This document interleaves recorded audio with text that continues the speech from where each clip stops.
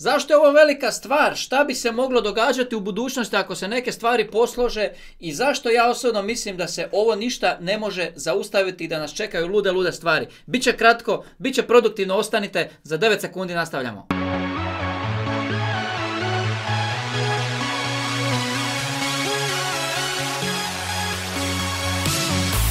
Veliki pozdrav svima, dobrodošli na kanal Kripto tema. Vas zanimaju kriptovalute i kripto teme, na pravom ste mjestu. Međutim, prije nego što nastavimo, moram samo reći ništa na ovom kanalu nije bilo, nije i neće biti financijski niti kripto savjet. Za svoje odluke ste sami odgovorni. Nemojte ništa svačati, ni ovdje, ni bilo gdje, kao financijski ili kripto savjet. Sami donosite odluke, ja ovdje samo govorim svoja vlastita mišljenja. Kao što ću sada reći, mišljenje koje je vezano za Starbucks, koji prima Bitcoin kao sredstvo plaćanja u El Salvadoru. Jako zanimljivo, sad će ljudi reći, je pa puno mene briga za El Salvador, ne bi da ću ja ikad ići u El Salvador. Možda nećete, poštujem. Međutim, zašto je važno? Zašto je važno i ovo ispratiti na jedan drugi način? Želim vam pokazati neke od podataka. Želim vam pokazati da vidite koliko je velik taj Starbucks u svijetu i šta bi se možda moglo događati da taj, kad bi taj Starbucks u svijetu počeo primati Bitcoin kao sredstvo plaćanja u mnogim drugim zemljama koje će jedna, jedna po jedna, jedna po jedna raditi na regulaciji e, Bitcoina, na regulaciji kripta i kada se stvore svi živi zakonski okviri, kada to bude jednog dana, a ja, ja osobno vjerujem da će sigurno biti moguće, Starbucks će samo recept koji već ima u El Salvadoru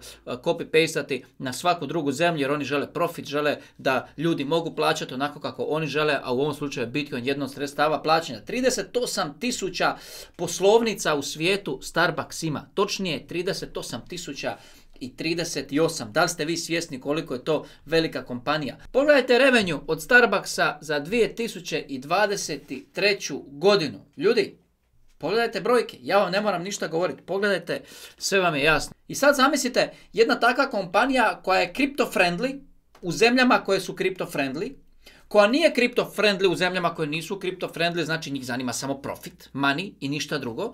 Jedna takva kompanija, kako će se postaviti sutra ili preko sutra sa svojih 30 i nešto tisuća poslovnica uh, u zemljama koje će postati kripto friendly, jedna po jedna koje će omogućiti taj zakonski sustav i model da taj Starbucks može isti tren početi primati i Bitcoin i u tim zemljama. Mislim da je preočito što nas čeka uskoro, isto kao što je preočito da ćete vi sada kliknuti na www.kriptoteme.io da ćete provjeriti što ima novoga na našem portalu od vijesti danas, a večeras u 8 se vidimo u live streamu. Veliki pozdrav!